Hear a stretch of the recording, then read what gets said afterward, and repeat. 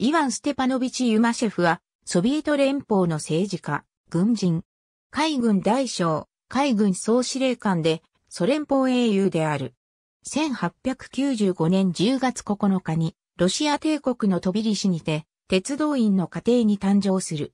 1912年から海軍に入り、バルト艦隊で水兵、下士官として勤務。1918年に入党した。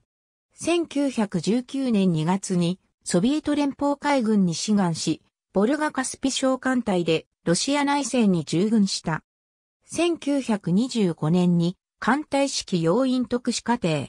1932年に海軍アカデミー付属艦長戦術課程を修了し、その後は駆逐艦、巡洋艦の艦長、駆逐艦大隊長、巡洋艦旅団長を歴任した。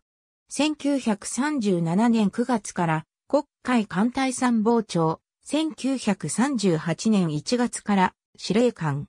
1939年3月から太平洋艦隊司令官となり、1943年に海軍大将に昇進。1945年の対日参戦に参加。1947年1月から軍事次官兼海軍総司令官。1950年2月から海軍省。1951年8月から海軍アカデミー校長。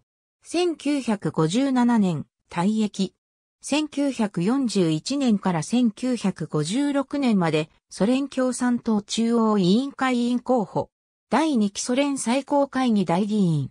レーニン勲章を6回、赤旗勲章を3回、赤星勲章、その他多くのメダルを授与された。巡洋艦アドミラル、ユマシェフ・クロンシュタット級、ミサイル巡洋艦、アドミラル、ユマシェフは彼にちなんで命名された。ありがとうございます。